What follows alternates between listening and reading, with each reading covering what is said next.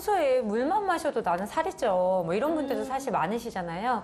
근데 어쩌면 그 이유가 이제 장 건강이 나빠지면서 이 장 속에 사는 제3의 장기인 장내 세균이 불균형해져서 그럴 수 있습니다. 우리 장 속에 좋은 균도 있고 네. 나쁜 균도 있고 뭐 이런 거에 대해서 우리가 이제 몇 번도 공부를 한 적도 있잖아요. 네, 맞아요. 이 장내는 약 100조 개 이제 넘는 세균들이 살고 있거든요. 그런데 이 세균들이 뭐 우리 몸의 신진대사, 뭐 면역 조절 이런 중요한 역할을 하고요.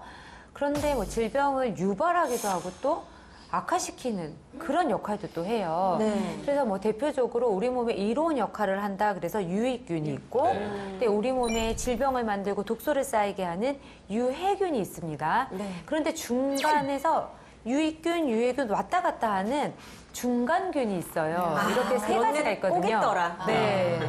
그래서 말씀해 주셨던 것처럼 이 장내 세균의 균형 같은 경우는 유익균 같은 경우는 한 20%, 음. 중간균 같은 경우는 한 60%, 또 나쁜 균인 유해균 같은 경우는 한 15% 정도 아. 유지를 하고 있으면 가장 장 건강 상태가 좋다라고 할 수 있어요. 음. 그런데 식습관이 나빠지시고요. 네. 스트레스를 너무 받으시고 이렇게 되면 유해균 상태가 상당히 높아지게 됩니다. 아. 점점점 유해균 세균 세력이 점점 커지게 되면요 음식을 드셔도 또 장 쪽에 문제가 생길 수 있고 이 트러블로 인해서 어 실제 과체중 형태의 사람들을 한번 조사를 해봤어요. 네. 그랬더니 장내에 비만을 유도하는 유해균인 피르미 테쿠스 이게 90% 이상 차지하는 것으로 나타났습니다. 아. 그만큼 체중이 증가할 수 있는 환경을 만들어주는 거죠. 아, 봐봐요. 이제 벌써 이제 환경이 그렇게 돼버려가지고 우리가 살 뺄려 뺄 수가 없는 그런 상황이 돼버린 거예요. 어쩔 수 없네. 어, 나 빼고 싶어. 어떻게 우리 포기해야 되는 거예요? 그래 이렇게 살아요.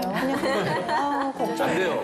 안 돼요, 안 돼요. 포기하면 안 돼요. 네, 우리 이장 속에 있는 세균 상태 때문에 이 면역력이 결정이 되기 때문에 장내 유해균의 힘이 셀 때는 당연히 뭐 외부에서 세균이나 바이러스가 침투했을 때 체내에서 이제 잘 증식되지 않도록 또이 면역기 전체가 건강하게 활성화가 되겠죠.